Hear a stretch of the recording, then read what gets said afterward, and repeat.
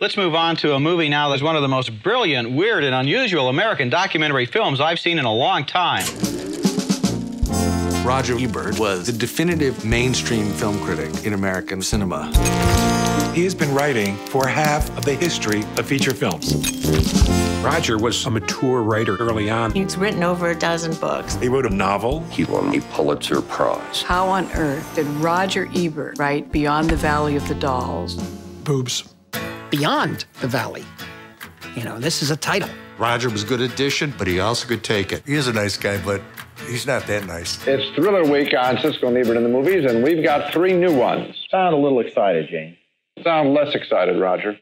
Roger Ebert and Gene Siskel were the most powerful critics of all time. The perfect matching of opposites. Even though Roger wrote Beyond the Valley of the Dolls, Gene lived the life. These were towering figures clashing. It was, I'm going to crush you. You give Benji the Hunted a positive review. That's totally unfair because you realize they almost didn't care what anyone else thought as long as they could try to persuade the other.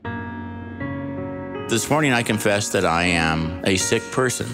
Three years ago, I felt a lump under my chin, and it turned out to be cancer. Roger had an inner core made of steel. You want to rest a little bit or work a little bit? Ask Steve. He's the director. He is a soldier of cinema who cannot even speak anymore, and he plows on. And that touches my heart very deeply. As a film critic, he was somebody who gave life to new voices, gave life to new visions that reflected all the diversity of this nation.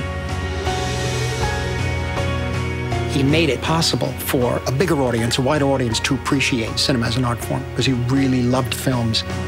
For me, the movies are like a machine that generates empathy.